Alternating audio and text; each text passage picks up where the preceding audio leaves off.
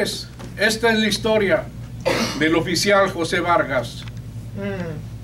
Por conseguir la victoria vivió mil horas amargas y hablar de su trayectoria no es fácil hallar palabras.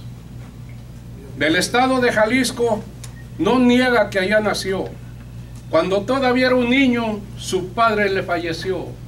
Fue el principio y el motivo que José tanto sufrió. Con 14 años de edad, no tenía ropa y comida. Él se intentó suicidar, quería acabar con su vida. Para dejar de llorar no encontraba otra salida. Pero quizá fue el destino o Dios que nos ve de arriba.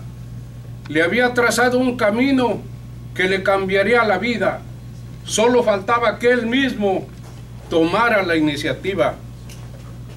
Con una idea en la cabeza, José llegó a la frontera.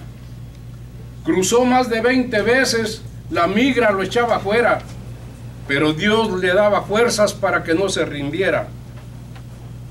Por vivir en California fue una batalla muy dura.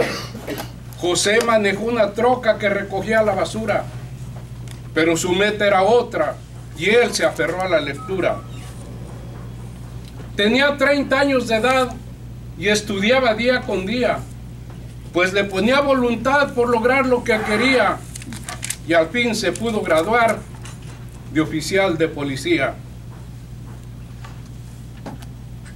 José está muy orgulloso de las cosas que ha logrado.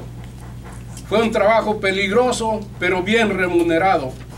Su, su apodo lo hizo famoso. Era el policía mojado. Por causa desconocida que me llena de coraje, José no recibió en vida tan merecido homenaje. Hasta hoy, en la despedida de este su último viaje.